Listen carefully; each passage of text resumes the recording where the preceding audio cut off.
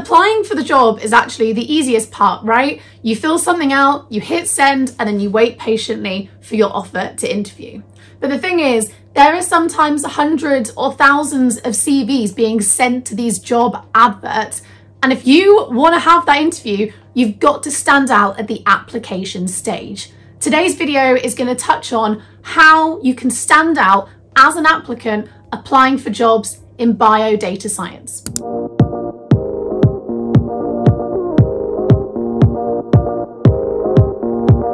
Hi guys, if you're new here, my name is Georgia and I've been a bioinformatician for over three years now. I've had an internship and two full-time paid positions in bioinformatics, so I think I'm quite well versed on the whole application shenanigans. I've also sat on recruitment panels, so I think I've got some tips of advice to share with you guys to help you stand out at that application stage.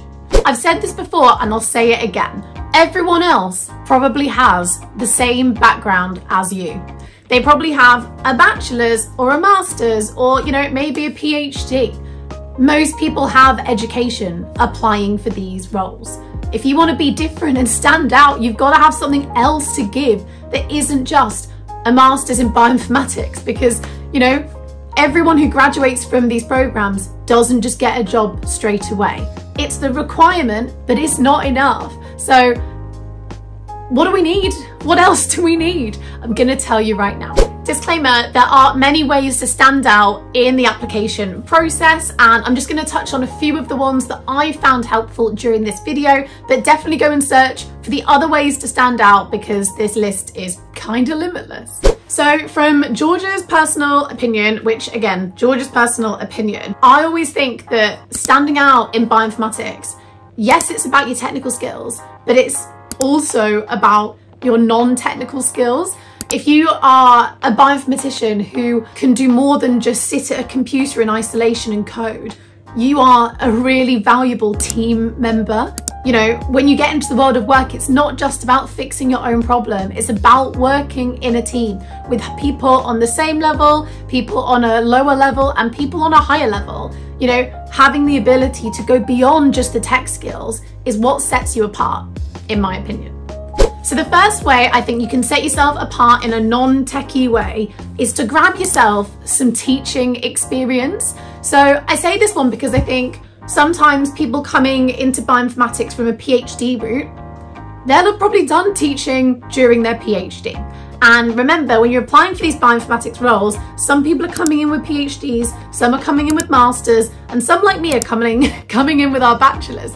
However, I think it's really key to see and think about how do you compare against the other kind of, you know, avenues into the field? And if PhDs are getting teaching experience, us masters and bachelor's students, like we got to go get ourselves some teaching experience because because we don't have the PhD, but that doesn't mean we can't gain loads of the skills that are built in the PhD elsewhere. So teaching is one of these really important skills because first of all, if you've learned a skill and you can't teach someone else, I don't think you've really mastered that skill.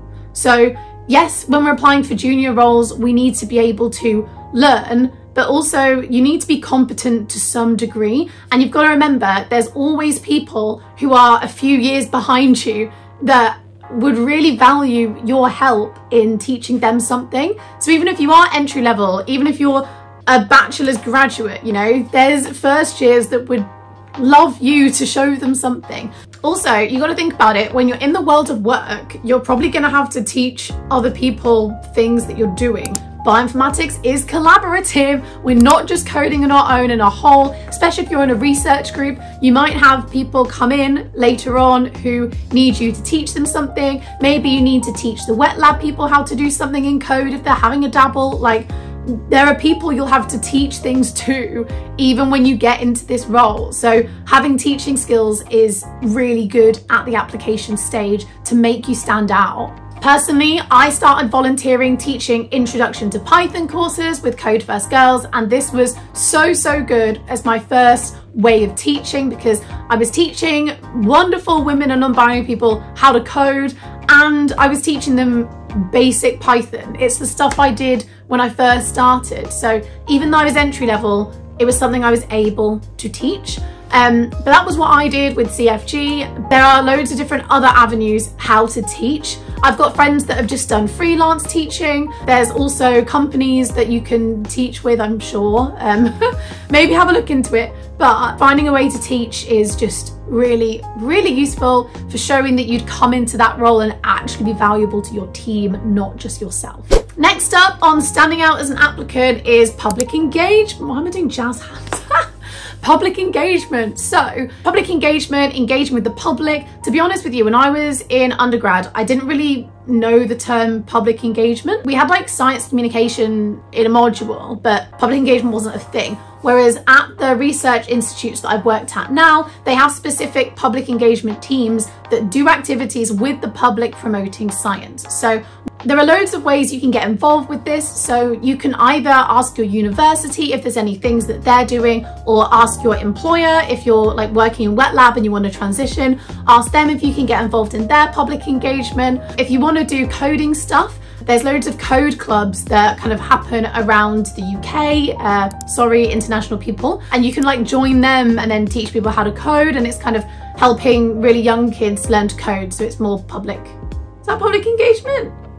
I don't know. Anyway, still a great thing, look up code clubs. And another one is obviously doing YouTubey things like I do and just making general content for the internet. There's loads of things you can do to engage with the public. You can also volunteer at science festivals. So when I was in my undergrad, my local town Norwich had a science festival, so I volunteered with them, uh, just like helping set up and run stalls and, well not run stalls, I didn't really run anything.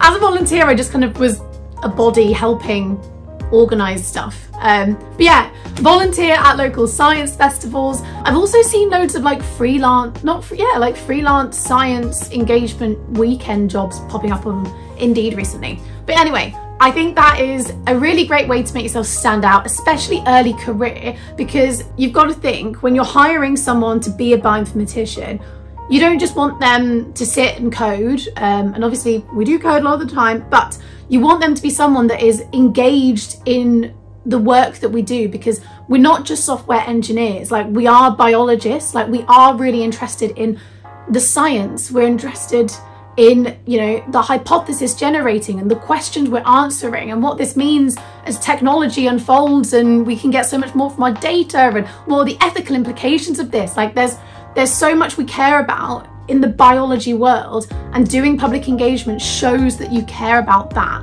And I think most employers, you know, would respect that.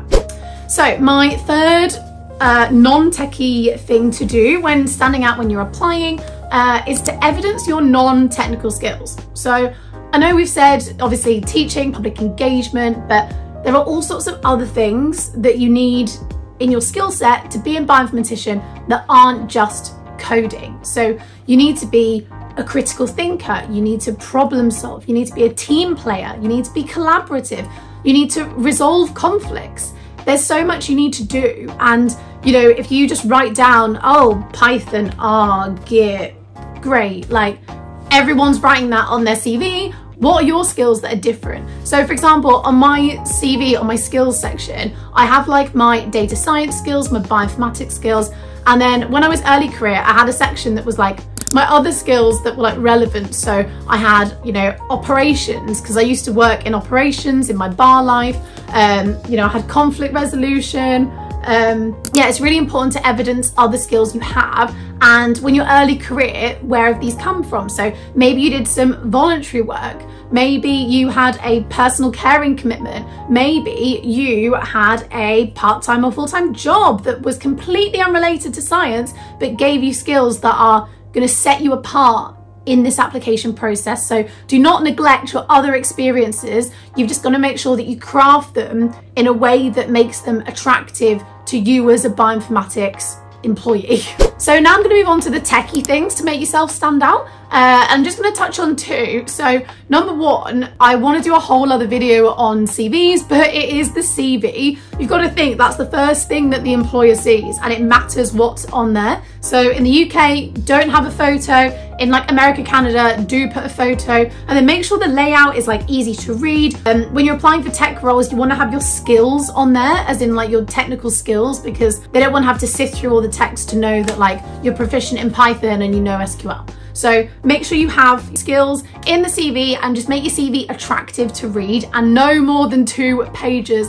Absolutely. It should only really be one when you're entry level. Two is the max, no more than two. And the final thing to touch on in terms of standing out as an applicant in bioinformatics recruitment is to make sure that you have a GitHub repo with a portfolio on your CV. I've said this before and I'll say it again, but I never made a portfolio on GitHub to evidence my skill set. And when I was changing jobs, it was so frustrating when people were like, oh, can we see like your portfolio? And I was like, no, all my code is like locked behind an internal wall that I can't show you. Like it's so annoying. Um, so now I really regret not doing that. So I think honestly, prioritize making a portfolio and having that on your CV to show that you can do code. All right, guys, that's it for today's video. I hope this has been helpful and you are now gonna write some killer applications that aren't just gonna consist of your degree and some other boring thing that everyone else has. My name's Georgia, this has been Genomics with Georgia. If you've liked the video, give me a like, hit subscribe to the channel for more content about getting into the wonderful world of bioinformatics.